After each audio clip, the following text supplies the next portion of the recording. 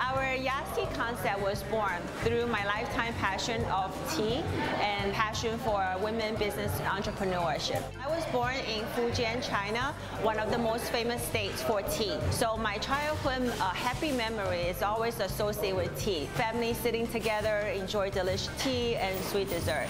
So when I came to the United States when I was a teenager, I studied through college, got my computer science degree, but I worked my whole college year in the restaurant industry industry. It's no-brainer. After I graduated, I said two things come together. I have the technology, I have the experience, and the most importantly, my passion for tea.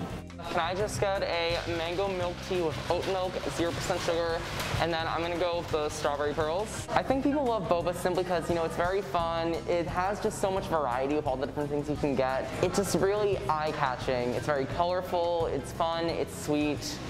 Overall, it's like coffee without the bitterness. Our product is fresh tea base, and also we offer like Asian dessert, Asian sweets, and also ice cream. We're making our most popular brown sugar boba. We put the house-made brown sugar, freshly made, every hour.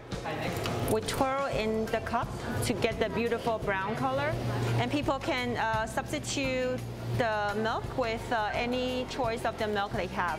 The oat milk, coconut milk, uh, and almond milk. It's my dream also, you know, one day I can be a role model for younger generation, especially for younger women who has a passion, who has a vision, who want to achieve more through hard work and love what they do.